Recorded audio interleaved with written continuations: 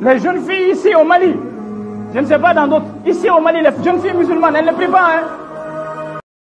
Au courant. Ils savent qu'elles ne prient pas. Les jeunes filles ne prient pas. Elles n'acceptent pas la prière. Elles ne prient pas. Elles n'ont pas le temps pour la prière. Elles sont dans les snipes, elles sont avec les téléphones, ou vous serez nous téléphone, nous ou bien ils drôle de l'autiseli. Foni ou Foni ou atimina tiki fruati sera une très mauvaise compréhension de l'islam qui gangrène notre société. La maturité qu'elle doit accomplir la prière. Et les parents doivent s'atteler à montrer le chemin de la prière à la jeune fille. Nous ne sommes pas nos enfants comme ça. Nous avons notre part de responsabilité dans ça. Ce n'est pas dans l'islam. Hein. Cette notion n'existe pas dans l'islam. L'islam ne vous dit jamais laissez votre enfant. Si vous faites ça, ça veut dire que vous avez trahi votre enfant.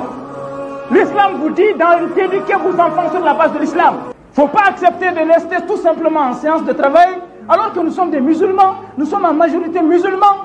Mais personne, chacun d'entre nous a le complexe. Il va en se réunion entre intellectuels. Les gens ont le complexe de se lever pour aller prier. Même celui qui veut aller, pas qu'il va aller prier. Il dit j'arrive. Permettez-moi, j'arrive, j'arrive. Allez, Pourquoi? Parce que nous avons le complexe de notre religion.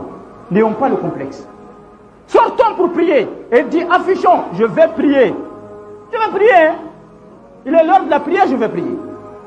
N'ayons pas le complexe de notre religion. Ambalmou. Eh, ambalmou.